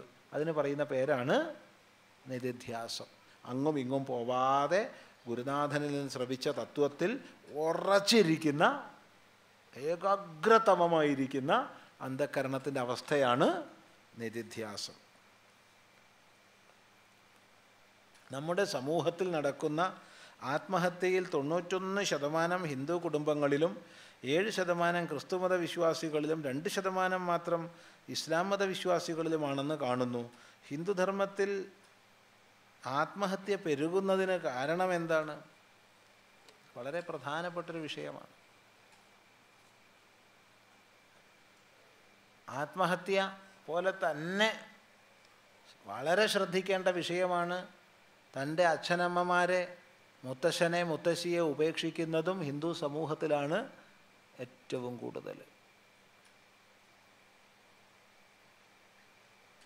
അതെ നൊന്ത് പെറ്റ് പോറ്റിയ അമ്മയെ അച്ഛനെ തെരുവിലേക്ക് ഇറക്കി വിടുന്നതിന് മുമ്പിൽ ഹിന്ദുക്കളാണ്. തെരുവിൽ ഉപേക്ഷിക്കപ്പെടുന്ന വാർദ്ധക്യങ്ങളുടെ തൊണ്ണൂറ്റേഴ് ശതമാനം ഹിന്ദുക്കളാണ്. എന്തുകൊണ്ട്?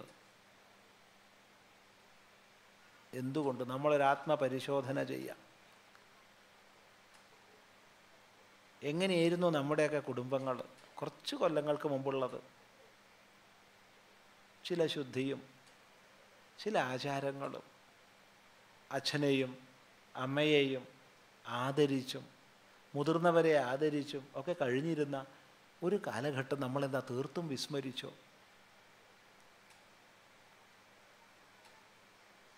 എന്തെല്ലാമോ ജാടകളും പൊങ്ങച്ചങ്ങളും മാത്രം കൈമുതലാക്കി എന്തിന്റെയൊക്കെയോ പിന്നാലെ അത് വേണം ഇത് വേണം അങ്ങനെ വേണം ഇങ്ങനെ വേണം എന്നുള്ള ആഗ്രഹത്തോടു കൂടി നെട്ടോട്ടം ഓടുമ്പോൾ നമുക്ക് പലതും കൈവിട്ടു പോകുന്നു. പലതും കൈവിട്ടു പോകുന്നു. അടിസ്ഥാനമായി ശാന്തിയും സമാധാനവും പോലും കൈവിട്ടു പോകുന്നു.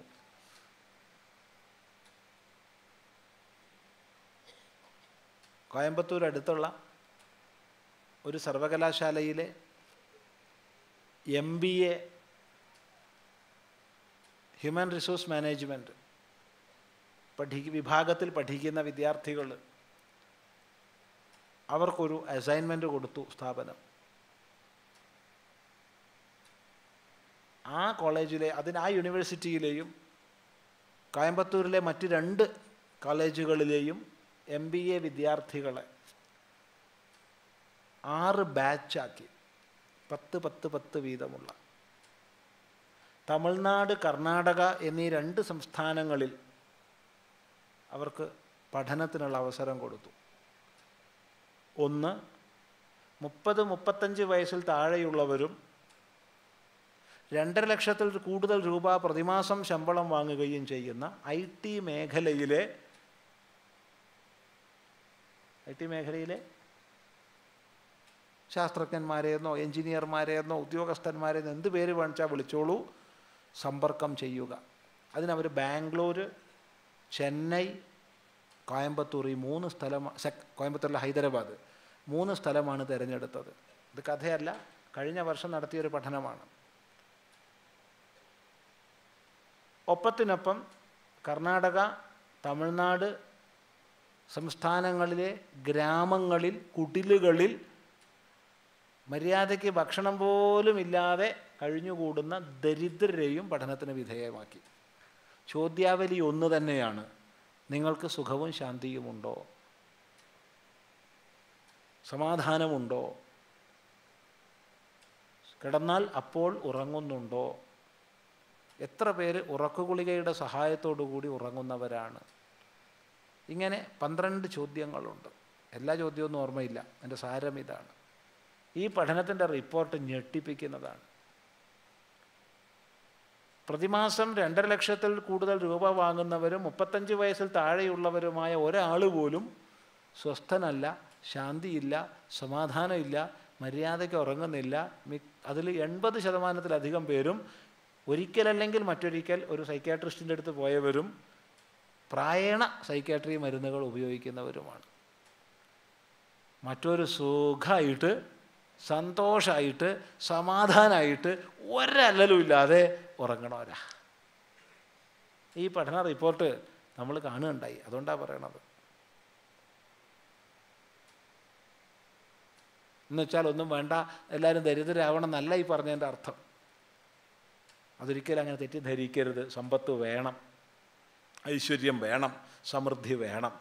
പക്ഷേ അതാണ് എല്ലാം എന്ന് കണക്കാക്കി കഴിഞ്ഞാൽ മറ്റു പലതും നമുക്ക് ചോർന്നു പോകുന്നു.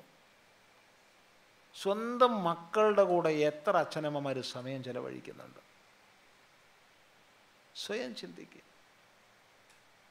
ഒരു ഭർത്താവും ഭാര്യയും ഒന്നിച്ചിരുന്ന് സന്തോഷപൂർവം സംസാരിക്കുന്നത് എത്ര വീട്ടിലുണ്ട്? നാമം ജപിക്കണ പോട്ടെ.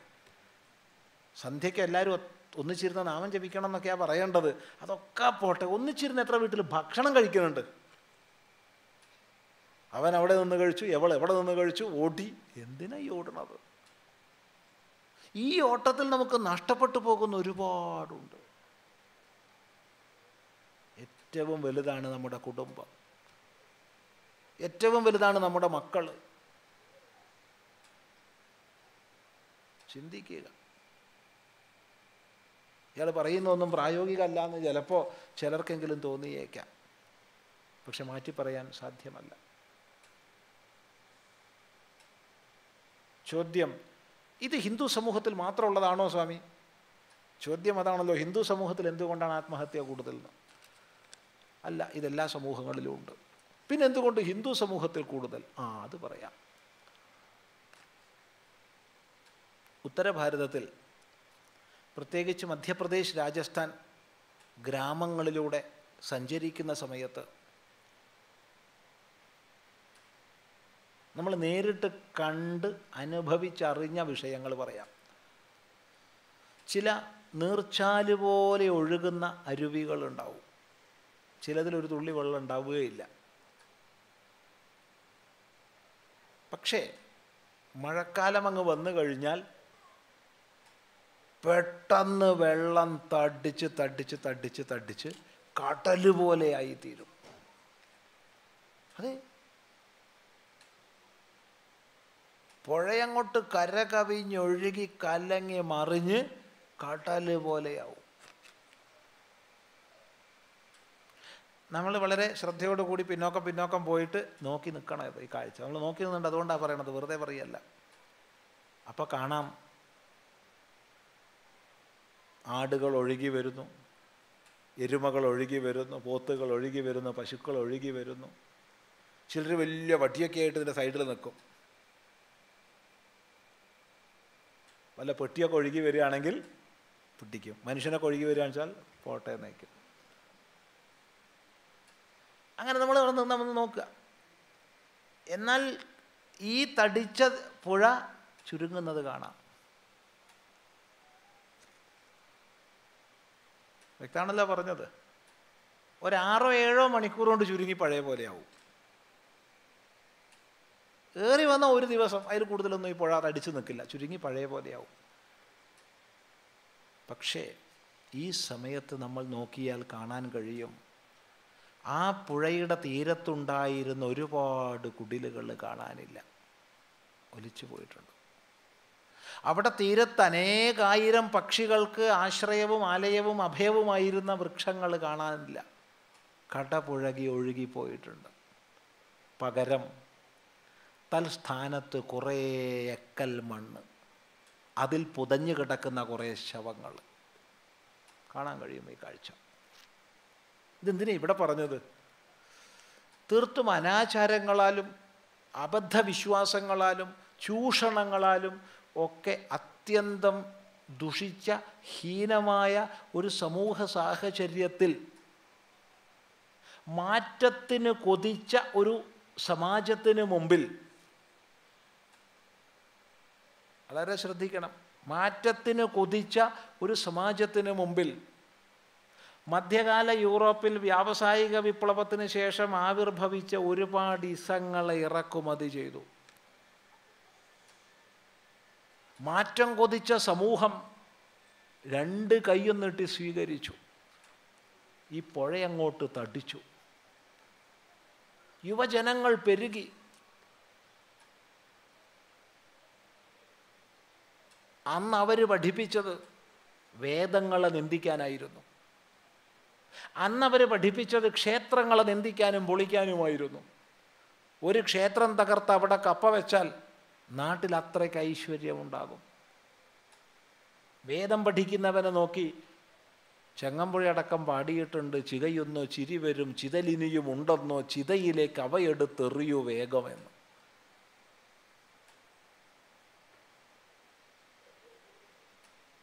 എന്നാൽ ഖുറാൻ കത്തിക്കാൻ പറയരുത് വലിച്ചെറിയാൻ പറയരുത് ബൈബിൾ വലിച്ചെറിയാൻ പറയരുത്. പക്ഷെ ഇത് പറഞ്ഞവൻ അത് പറഞ്ഞൂടെ? പള്ളി തകർക്കാൻ പറയരുത് പള്ളി ആരാധനാ കേന്ദ്രമാണ്. പക്ഷെ ക്ഷേത്രം തകർക്കാൻ പറഞ്ഞവൻ അത് പറഞ്ഞൂടെ? അത് പറഞ്ഞില്ല. ഏകപക്ഷീയമായി പോയി വിമർശനങ്ങൾ. ഹൈന്ദവ ആരാധനാക്രമങ്ങളെയും ശാസ്ത്രങ്ങളെയും സമ്പ്രദായങ്ങളെയും നിന്ദിച്ചു. അവഹേളിച്ചു. അർത്ഥശൂന്യമെന്ന് പറഞ്ഞു. അങ്ങനെ ഈ കൂരകളും വൃക്ഷങ്ങളും ഒക്കെ ഒഴുകിപ്പോയി ആശ്രയിക്കാനൊന്നില്ല എന്നാൽ മറ്റു സമൂഹങ്ങൾ വ്യക്തമായി പറയട്ടെ എന്ത് ഇസം പറഞ്ഞപ്പോഴും പ്രസംഗിച്ചപ്പോഴും അവരുടെ ആരാധനകളെ മുറുകെ പിടിച്ചു. അവരുടെ പള്ളികളെ അവരുടെ കുർബാനകളെ അവരുടെ നമസ്കാരങ്ങളെ അവരുടെ കുംഭസാരങ്ങളെ ഉപേക്ഷിച്ചില്ല. അതുകൊണ്ടൊരു പ്രശ്നം വരുമ്പോൾ ഒരു പ്രയാസം വരുമ്പോൾ ഒരു ദുഃഖം വരുമ്പോൾ ടെൻഷൻ വരുമ്പോൾ ആശ്രയിക്കാൻ ചില സങ്കേതങ്ങൾ അവർക്ക് നിലനിന്നു. ഇവിടെ ഹിന്ദു എന്ന് പറയുന്ന സാധനം ഇതിനെ മുഴുവൻ ഒരു സന്യാസിയെ കണ്ടാൽ കോളൻ നടക്കണം സോഷ്യൽ പാരസൈറ്റ്. Social parasite. അതെ. ഒരു ക്ഷേത്രം കണ്ടാൽ കഷ്ടം. ചില സവർണന്മാർക്ക് ജീവിച്ചു പോവാനുള്ള സ്ഥാപനം. എല്ലാത്തിനെയും അവഹേളിച്ചു. ഇത് മറ്റു സമൂഹങ്ങൾ ചെയ്തില്ല. അവർക്ക് ആശ്രയിക്കാനുള്ള അത്താണികൾ അവർ തകർത്തില്ല. അതുകൊണ്ട് തന്നെ ജീവിതത്തിൽ പ്രശ്നങ്ങൾ വരുമ്പോൾ ഇനി എന്ത്? എങ്ങനെ അഭിമുഖീകരിക്കുമെന്നറിയാതെ ഉഴറുമ്പോൾ ആശ്രയമറ്റവരായി പോകുന്നു. ആശ്രയം ഒരു ഫാനിലോ ഹൂക്കിലോ ഒരല്പം വിഷത്തിലോ ഒക്കെ ആയി പോകുന്നു. മറ്റുള്ളവർക്ക് ആ പ്രശ്നമില്ല. അവർക്ക് ആടി ഉലയുമ്പോൾ ഉടനെ പോവും. പിതാവിനോട് ചോദിക്കാം എന്താണെന്ന്. അവിടുന്ന് ഉത്തരം കിട്ടും. മനസ്സിൽ അല്ലാഹുവെ ധ്യാനിച്ച് നമസ്കരിക്കാം. അവിടുന്ന് ശാന്തി കിട്ടും. സംശയമില്ല. ഇവിടെ ഹിന്ദു എന്ന് പറഞ്ഞ സാധനം ഇതിനെയൊക്കെ ഉപേക്ഷിച്ചു. അതുകൊണ്ടാണ് ആശ്രയമറ്റ സമൂഹമായതുകൊണ്ടാണ് മാനസികമായ സ്വാസ്ഥ്യത്തിനുള്ള വഴി നഷ്ടപ്പെട്ടതുകൊണ്ടാണ് അഥവാ നഷ്ടപ്പെടുത്തിയത് കൊണ്ടാണ് ഹിന്ദു സമൂഹത്തിൽ ആത്മഹത്യ കൂടുതൽ അതുകൊണ്ട് നമ്മുടെ സമൂഹത്തിൽ ശാസ്ത്ര പ്രചരണം ആചരണങ്ങളുടെ പ്രചരണം. യോഗവും വേദാന്തവും ക്ഷേത്രവും എല്ലാം നല്ല രീതിയിൽ പ്രചരിതമാകട്ടെ. അവ നല്ല രീതിയിൽ വിനിയോഗിക്കപ്പെടട്ടെ. ഒരു തിരിച്ചുവരവ് സംഭവിക്കുന്നുണ്ട്. തീർച്ചയായിട്ടും ലോകം മുഴുവൻ ഇന്ന് നമ്മുടെ ആചാര്യന്മാർക്ക് വേണ്ടി കാതോർക്കുന്ന കാലഘട്ടമാണ്. അത് വളരെ ശുഭകരമായ ലക്ഷണമാണ്. അതുകൊണ്ട് ഇതേ രീതിയിൽ കാര്യങ്ങൾ മുന്നോട്ട് പോട്ടെ. അതന്നെ വേണ്ടു. എന്നാൽ എല്ലാത്തിലും മാറ്റം വരും. സംശയമൊന്നുമില്ല. മാതാപിതാക്കളെ തെരുവിൽ ഉപേക്ഷിക്കുന്നവരുടെ സംഖ്യയും ഇപ്രകാരം ഹിന്ദു സംസ്കാരം എന്ന് നാം വിശേഷിപ്പിക്കുന്ന സനാതനധർമ്മ വിശ്വാസികളുടെ ഇടയിൽ ഏറ്റവും കൂടുതലായി കാണുന്നു. കാരണം അത് നേരത്തെ പറഞ്ഞതിൽ ഉൾപ്പെട്ടു. ചാർവാക മഹർഷിയും അദ്ദേഹത്തിന്റെ മതവും യുക്തിവാദമായിരുന്നുവോ? ചാർവാക മഹർഷി പ്രത്യക്ഷവാദിയായിരുന്നു. ഇവിടെ ഒരു ഒരു സ്ഥിതി പറയാനുള്ളത് എന്താ ചോദിച്ചാൽ ചാർവാക മഹർഷിയെക്കുറിച്ച് നമുക്ക് ഏറെ അറിയില്ല. എന്നൊരു പറയാം? ചാർവാക മഹർഷിയെക്കുറിച്ച് നമുക്ക് ഏറെ അറിയില്ല. അങ്ങനെ മഹർഷി ഉണ്ടായിരുന്നോ തന്നെ അറിയില്ല. പിന്നെ ചാർവാക ദർശനം അറിയാം. ചാർവാക ദർശനത്തെ നമ്മൾ പ്രാമാണിക ദാർശനിക ഗ്രന്ഥം നോക്കിയിട്ടല്ല പഠിക്കുന്നത്. അങ്ങനത്തെ ഒരു പ്രാമാണിക ദാർശനിക ഗ്രന്ഥം നമുക്ക് കിട്ടിയിട്ടില്ല. സമയമായി പിന്നെന്താ ഉള്ളത്? ചോദിച്ചാൽ മറ്റ് ഗ്രന്ഥങ്ങളിൽ ഉദ്ധരിക്കപ്പെട്ടത് കണ്ടിട്ടാണ് നമ്മൾ ചാർവാകത്തെ പഠിക്കുന്നത്. അവിടെ കാണുന്നത് മാത്രം വിശ്വസിക്കുക എന്നുള്ളതാണ്. ഇപ്പം ചാർവാകന്മാർക്ക് ഒരു പ്രമാണമേ ഉള്ളൂ. പ്രത്യക്ഷം. നാല് പദാർത്ഥങ്ങളേ ഉള്ളൂ. നാല് ഭൂതങ്ങളേ ഉള്ളൂ. നമുക്കൊക്കെ പഞ്ചഭൂതങ്ങളല്ലേ? അവർക്ക് നാലേ ഉള്ളൂ. ആകാശമില്ല കാണപ്പെടാത്തത് കൊണ്ട്. വായു അഗ്നി ജലം ഭൂമി എന്നേ ഉള്ളൂ. ഇനി ചാർവാക ദർശനത്തെക്കുറിച്ച് വിസ്തരിച്ച് പറയണമെങ്കിൽ വേറൊരു ദിവസം ചാർവാക ദർശനം എന്ന് വെച്ചോളൂ അല്ലെങ്കിൽ ദർശനം എന്ന് മാത്രം വെച്ചോളൂ അന്ന് പ്രതിപാദിക്കാം. സമയം മുഖ്യമാണല്ലോ സമയനിഷ്ഠ ജീവിതത്തിൽ മുഖ്യ. പറഞ്ഞാൽ പറഞ്ഞെടുത്ത് തുടങ്ങുക പറഞ്ഞ സമയത്ത് തുടങ്ങുക പറഞ്ഞ സമയത്ത് അവസാനിപ്പിക്കുക. അതുകൊണ്ട് നമ്മളെ സമയമായിട്ടുണ്ട്. അതുകൊണ്ട് ഉപസംഹരിക്കുന്നു. കുറേ കടലാസുകൾ ഇവിടെ ബാക്കിയുണ്ട്. അത് വേറെ ഏതെങ്കിലും ഏഹ്, അവസരത്തിലാവട്ടെ അല്ലെങ്കിൽ പിന്നെ ഒരു കാര്യം കൂടി ചെയ്യാൻ പറ്റും. നേരത്തെ ഇവിടെ സനാ അദ്വൈതാശ്രമം സത്സംഗ മാസികയെക്കുറിച്ച് പറയുകയുണ്ടായി. തീർച്ചയായിട്ടും ഈ ചോദ്യങ്ങൾക്ക് ഉത്തരം മാസികയിലൂടെ എഴുതാം. പക്ഷെ അങ്ങനെ എഴുതണമെങ്കിൽ ചോദ്യം തന്ന ആളുടെ പേരും അഡ്രസ്സും വേണം. അപ്പോൾ ചോദ്യം ഈ തന്ന ആൾക്കാരുടെ പേരും അഡ്രസ്സും തരികയാണെങ്കിൽ അദ്വൈതാശ്രമം സത്സംഗ മാസികയിലൂടെ അതിന് മറുപടി എഴുതി പ്രസിദ്ധീകരിക്കാം. അപ്പോൾ രണ്ട് കാര്യമുണ്ടേ. നിങ്ങൾ വാങ്ങിക്കോളേ. വാങ്ങണമെങ്കിൽ കാശ് കൊടുത്ത് വാങ്ങണമല്ലോ. അപ്പോൾ അതിന്റെ ഉള്ളിൽ ഒരു ബിസിനസ് കാര്യം നടക്കുകയേ? ചില പുസ്തകങ്ങളിലൊക്കെ കണ്ടിട്ടില്ലേ? ഇതിന്റെ വിശദീകരണത്തിന് ഇതേ ലേഖകൻ എഴുതിയ ഇന്ന പുസ്തകത്തിൽ ഇത്രാം എന്താ വേറെ വല്ല പുസ്തകം നോക്കിയാൽ പോരെ? അയാളത് വാങ്ങിയാലല്ലേ അയാൾക്ക് ചിലവാവുള്ളൂ. അതാണ് പരിപാടി. ശരി സന്തോഷം. തൽക്കാലം ഉപസംഹരിക്കാം. ഓം. ഗുരുർ ബ്രഹ്മ ഗുരുർ മഹേശ്വര ഗുരു സാക്ഷാത് പരം ബ്രഹ്മ. തസ്മൈ ശ്രീ ഗുരവേ നമ. ഓം. ശ്രീനാരായണ ഗുരുദേവനെ കുറിച്ച് നമുക്കുണ്ടായിരിക്കുവാൻ ഇടയുള്ള അബദ്ധധാരണകൾ മാറ്റുവാനും മാറുവാനും അദ്ദേഹത്തെക്കുറിച്ച് കൂടുതൽ പഠിക്കുവാനും അറിയുവാനും പ്രചോദനം നൽകിയ ഒരു പ്രഭാഷണമായിരുന്നു നാം ഇന്നിവിടെ ശ്രവിച്ചത്. ഒരു സാമൂഹ്യ പരിഷ്കർത്താവ് എന്നതിലുപരി ധർമ്മോദ്ധാരണത്തിന്റെ വക്താവായി വർത്തിച്ച ഒരു ഗുരുദേവനെയാണ് നാം ഇന്ന് കേട്ടത്. അതുപോലെ തന്നെ നാം പഠിച്ചിട്ടില്ലാത്ത ഒരു കേരള ചരിത്രവും അനാവൃതമാവുകയായിരുന്നു ഇവിടെ. നമ്മുടെ ക്ഷണം സ്വീകരിച്ച് ഇവിടെ എത്തിച്ചേർന്ന് ഈ അറിവുകൾ പകർന്നു തന്ന സ്വാമിജിക്ക് നമസ്കാരങ്ങൾ അർപ്പിക്കുന്നു. അതോടൊപ്പം തന്നെ ഉത്തിഷ്ഠയുടെ ഒരു എളിയ ഗുരുദക്ഷിണ സ്വീകരിച്ച് ഇവിടെ എത്തിയിട്ടുള്ള എല്ലാവരെയും അനുഗ്രഹിക്കണമെന്നും സ്വാമിജിയോട് പ്രാർത്ഥിച്ചുകൊള്ളുന്നു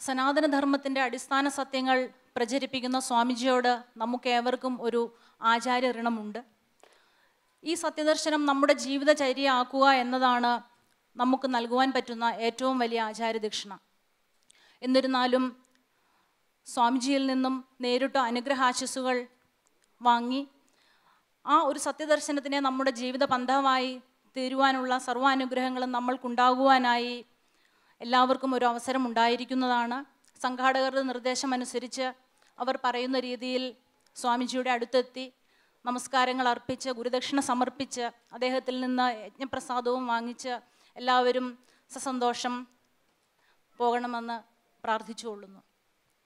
ഈ അവസരത്തിൽ മറ്റൊരു അറിയിപ്പ് കൂടിയുണ്ട് വരുന്ന വർഷം രണ്ടായിരത്തി പതിനാറ് ജൂണിൽ സ്വാമിജിയുടെ നേതൃത്വത്തിൽ ഒരു ഉപനിഷത്ത് ക്ലാസ് നമ്മൾക്കായി നൽകാമെന്ന് സ്വാമിജി പറഞ്ഞിട്ടുണ്ട്. ജൂൺ പതിനാല് മുതൽ പതിനെട്ട് വരെയുള്ള തീയതികളിലായിരിക്കും അത് ക്ലാസ്സുകൾ ഉണ്ടായിരിക്കുക. താല്പര്യമുള്ളവർ തങ്ങളുടെ പേരും മറ്റ് ഡീറ്റെയിൽസും ഹെൽപ്പ് ഡെസ്കിൽ അല്ലെങ്കിൽ സംഘാടകരെ അറിയിക്കുക. ക്ലാസ്സസ് ഇംഗ്ലീഷിലായിരിക്കും. ഉപനിഷത്തിനെ അടിസ്ഥാനമാക്കിയുള്ള ക്ലാസ്സുകളായിരിക്കും. കൂടുതൽ വിവരങ്ങൾക്കായി ഏതെങ്കിലും സംഘാടകരെയോ ഡോക്ടർ ജിയെയോ ആരെയെങ്കിലും സമീപിക്കുക.